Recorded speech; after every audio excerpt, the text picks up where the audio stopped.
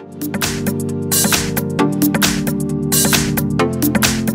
I've got LeEco Le S3 and let me show you how to activate and use TalkBack on the following device.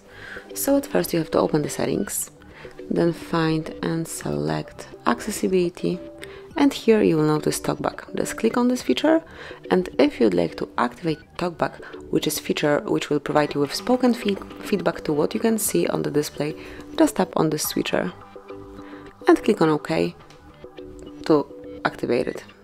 Now I have some quick tutorial, you can come along with all of it, but I will go back and all you have to do is to tap once on some particular feature, for example here.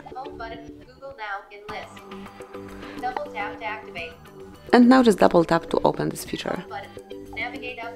And as you can see, once I will click on something, TalkBack will provide you with feedback. So let me go back.